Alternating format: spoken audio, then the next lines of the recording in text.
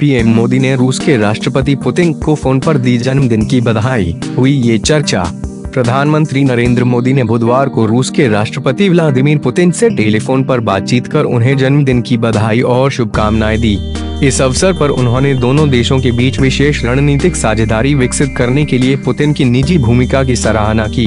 प्रधानमंत्री कार्यालय ने एक बयान जारी कर इसकी जानकारी दी और कहा कि दोनों नेताओं ने कोविड 19 महामारी से उत्पन्न चुनौतियों सहित अन्य मुद्दों पर आने वाले दिनों में बातचीत जारी रखने पर भी सहमति जताई।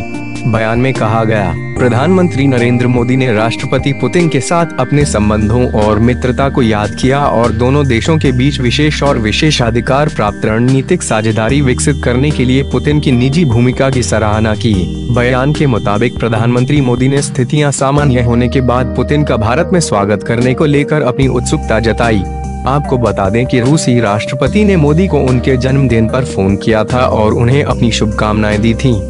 बाद में मोदी ने ट्वीट कर कहा, मैंने अपने मित्र राष्ट्रपति व्लादिमीर पुतिन को आज उनके जन्मदिन की बधाई देने के लिए बात की। दोनों देशों के बीच विशेष और विशेषाधिकार प्राप्त रणनीतिक साझेदारी को मज़बूत बनाने में उनकी निजी भूमिका की सराहना की।